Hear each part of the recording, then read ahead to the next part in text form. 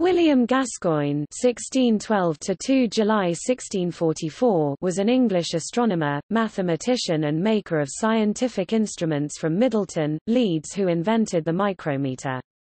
He was one of a group of astronomers in the north of England who followed the astronomy of Johannes Kepler, which included Jeremiah Horrocks and William Crabtree.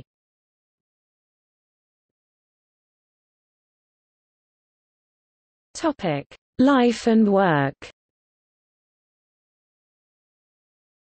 Gascoigne was born in Middleton, Leeds in 1611, the son of a minor country gentleman. His father was Henry Gascoigne, Esq., of Thorpe on the Hill in the parish of Rothwell, near Leeds, Yorkshire. His mother was Margaret Jane, daughter of William Cartwright. Little is known of his early life. He claimed he was educated at the University of Oxford, although no record of this has been found. In the late 1630s, Gascoigne was working on a Keplerian optical arrangement when a thread from a spider's web happened to become caught at exactly the combined optical focal points of the two lenses. When he looked through the arrangement Gascoigne saw the web bright and sharp within the field of view. He realized that he could more accurately point the telescope using the line as a guide, and went on to invent the telescopic sight by placing crossed wires at the focal point to define the center of the field of view. He then added this arrangement to a sextant modeled on the instrument used by Tycho Brahe, although Tycho's sextant was only a naked eye instrument. Gascoigne's sextant was 5 feet in radius, and measured the distance between astronomical bodies to an unprecedented degree of accuracy. Gascoigne then realized that by introducing two points, whose separation could be adjusted using a screw, he could measure the size of the image enclosed by them. Using the known pitch of the screw, and knowing the focal length of the lens producing the image, he could work out the size of the object, such as the Moon or the planets, to a hitherto unattainable degree of accuracy. Gascoigne met the Lancashire astronomer William Crabtree, probably in 1640. After making observations at Gascoigne's home, Crabtree was much taken with these inventions and immediately saw their significance. On his return to his home in Broughton, just outside Manchester, he wrote to Gascoigne asking if he might obtain such instruments and also wrote to his friend Jeremiah Horrocks about them.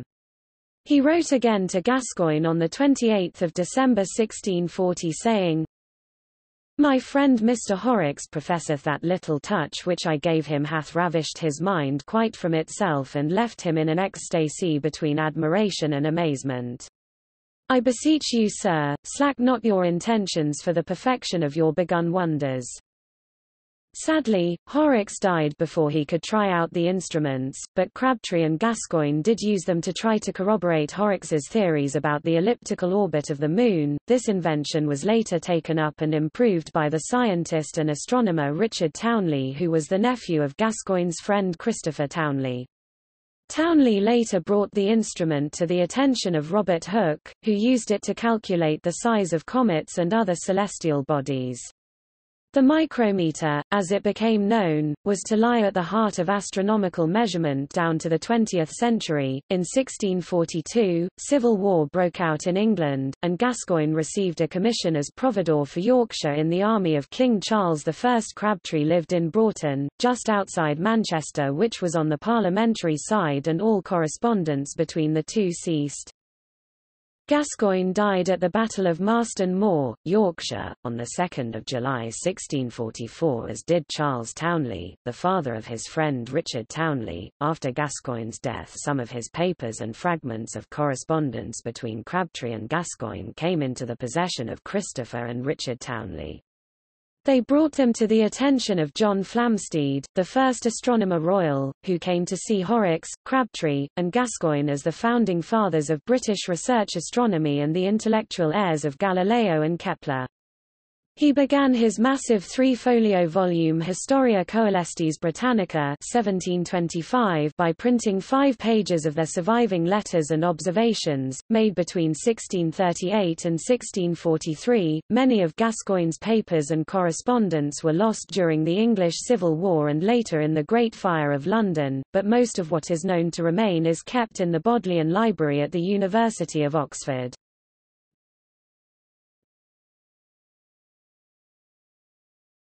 Topic.